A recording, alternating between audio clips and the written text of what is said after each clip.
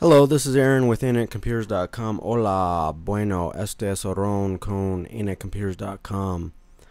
I filed this one under PC hardware installation DVD RW writers how to fix your Windows DVD writer error 39 your DVD RW will not work it opens spins and when you use add remove new hardware in Windows device manager a message you get is quote new hardware found unquote. Windows claims it can't load driver with error 39 after removing these registry keys and rebooting it may be necessary to reinstall any cd or dvd recording applications. Number one close all open programs. Number two click on start run and type regedit and press enter. Number three click on plus signs next to the following folders H key local machine so you want to hit on plus to expand that and then system then current control set then control then class and then whatever is in those brackets and you can copy and paste if you need to.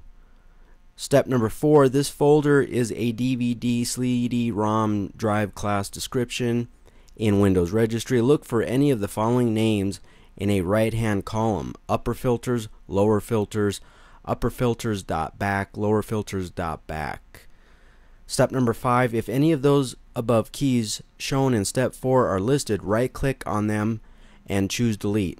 App number six, after deleting those keys, close Windows Registry Editor. Step seven, reboot your computer. Finally, number eight, open my computer and check to see if your CD or DVD drives have returned. You may also want to open Device Manager and verify that a yellow exclamation and error code on that CD or DVD drive is gone.